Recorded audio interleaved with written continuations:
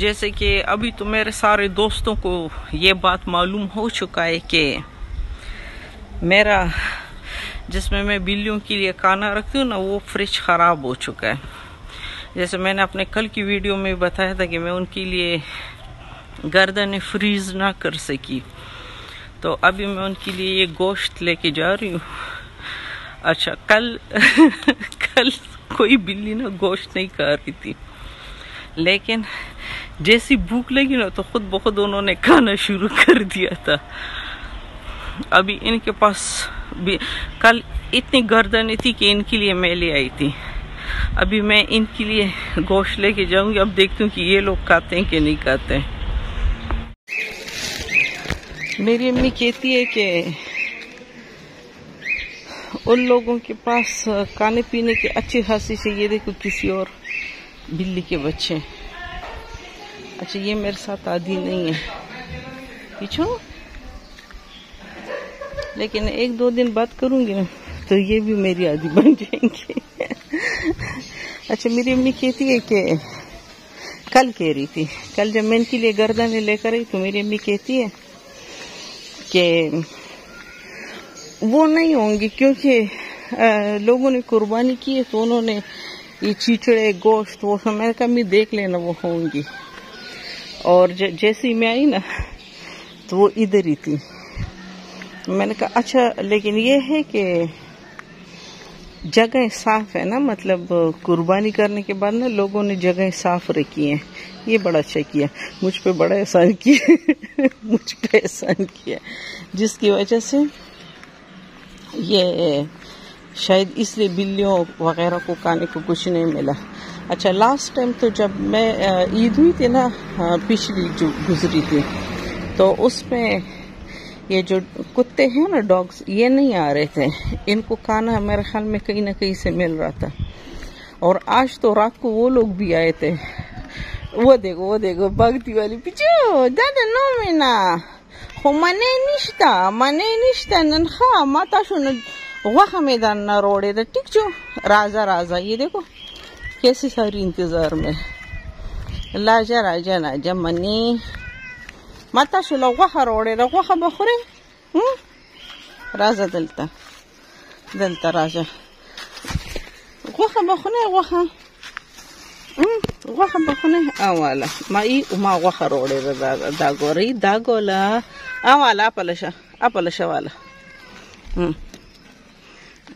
देखती हूँ कोशिश करती है कि नहीं करती उधर चली गई बड़ी उस्ताद है ये देखो मैं कल जो गर्दन लाई थी ना उसके वो थोड़े थोड़े टुकड़े पड़े हुए हैं वाला शाब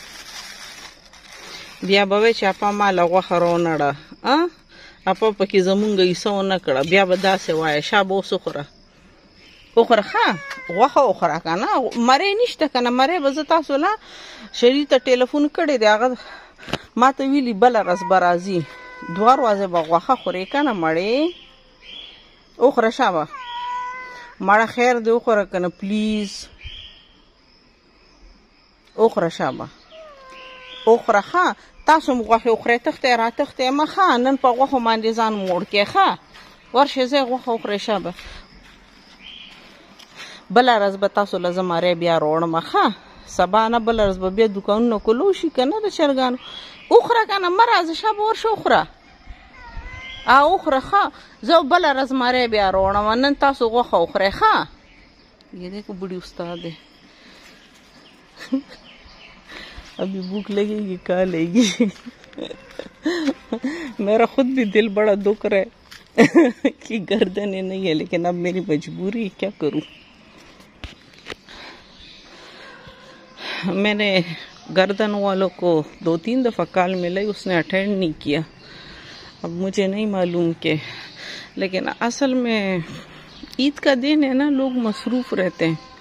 और फिर इनका इस तरह होता है कि ये लोग कारोबार में कंटिन्यू कारोबार करते हैं, फिर ये जो दो तीन दिन छुट्टी करते हैं ना तो फिर उसमें ये कंटिन्यू अपनी बीवी बच्चों के साथ टाइम गुजारते हैं। ये मेरा ख्याल है। तो इसलिए शायद उन्होंने टेलीफोन अटेंड नहीं किया। लेकिन अगर वो टेलीफोन अटेंड कर भी लेते तो कोई फ़ायदा तो नहीं था, क्योंकि मैंने तो कल बड़े मतलब बड़ा मैं घूम पीरी की कहीं ना कहीं से मैं गर्दन इनके लिए ढूंढ कर लिया लेकिन कहीं से भी नहीं मिले। अच्छा वो जो घर के आसपास बिल्लियाँ हैं और या जो घर में होती हैं, उन्होंने भी कल इसी तरह नखरे दिखाए थे। लेकिन फिर जब उनको पता चला कि इसके अलावा तो और खाने को कुछ नहीं है तो फिर उन्होंने खा लिया और अब जैसी भूख लगती है दड़ा दड़ खा जाती है।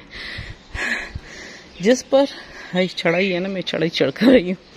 अच्छा जिस पर सुबह में गोश्त सारा फ्रीज था तो भाभी ने कीमा निकाला हुआ था कबाब के लिए।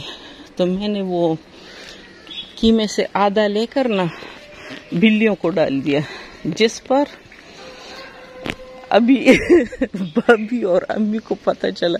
भाभी ने तो खैर कुछ नहीं कहा। और अम्मी जो तो वो तो अम्मी बार बार उसका दिफा में लगी हुई थी। इसलिए से सीख कबाब बनाने थे ये बनाने। तो मैंने कहा, कोई बात नहीं, चार पाँच सीख कबाब तुम लोग कम खा लो ना, क्या फ़र्क पड़ जाएगा? तो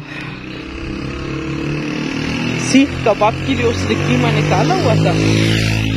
तो वो, उससे आधा कीमा मैंने लेके तो अच्छा वो बिल्ला जो था ना उसको मैं थोड़ा थोड़ा करके डाल रही थी कि मैंने कहा खराब ना जाए। जैसे वो आ, आ, ये कोफ्ते की तरह एक में बना के ना गोला सा डाल देती थी। तो जैसा ख़त्म करे मियाँ मतलब और दो। फिर जैसे ही उसका पेट भरा आखिर मुझे कहते थैंक यू और अपना मुँह साफ़ करके ना गाड़ी के नीचे चला गया।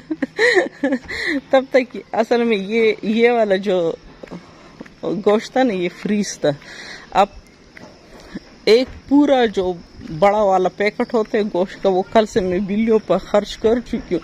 इनके खाने का मतलब घर वालों के खाने का। अभी मैंने एक और शॉपर निकाले, मैंने कहा, ये भी बिल्लियों का है। अम्मी कहती है, बस फिर तो हमारा काम आज खत्म है। मैंने कहा हाँ कोई बात नहीं, तुम लोग शायद के घर से मंगवाइए, खा लेना। शायद के घर पड़ा है, उनके घर वैसे भी इतने ज़्यादा बंदे नहीं है, दो ही मियाँ बीवी है। तो मैंने कहा तुम लोग शायद के घर से मंगवा के खा लेना। ये मैं बिल्लियों के लिए कर दूँगी।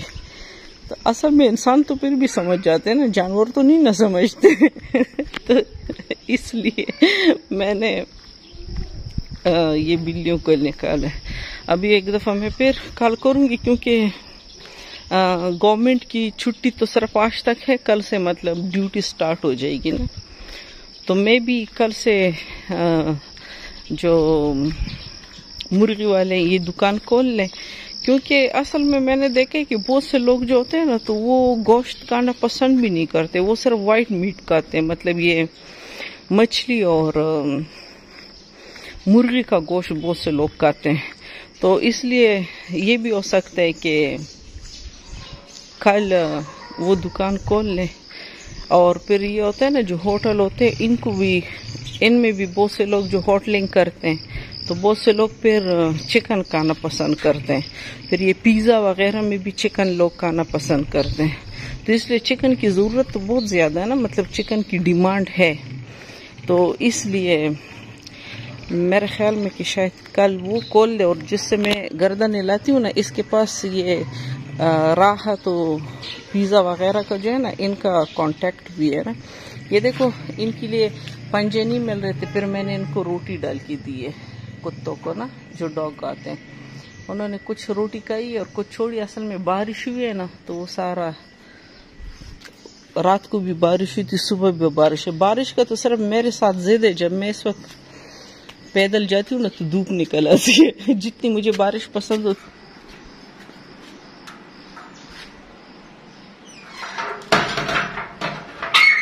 ये देखो, ये इतने नवाब के बच्चे ना, ये ये देखो, ये मैंने इसमें गोश्त, सुबह जो मैंने डाल की दिया था, इसमें ये छोड़ा हुआ अच्छा चीचड़े जो ना ये बिल्कुल नहीं खाती बिल्लियाँ प्लेट पे अंदर लेगी, क्योंकि मैंने कहा वैसे ही खत्म हो जाएँगे ये न्याजबीन है ये प्रेग्नेंट है Bardzo piciucie. Załatwa.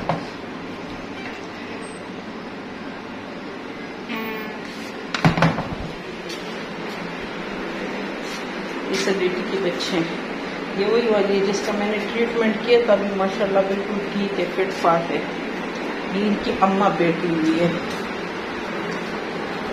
इसकी अम्मी, सारे बड़े शैतान है इसके बच्चे।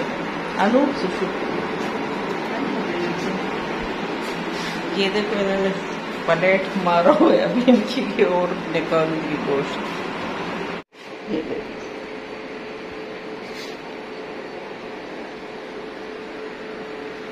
आई हुगे में।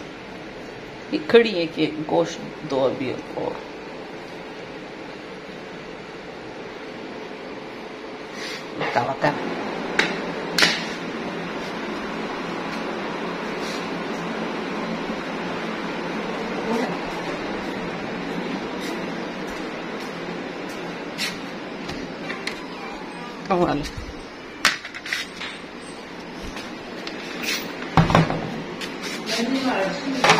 बता Vale. Ahmed, dame una refresco.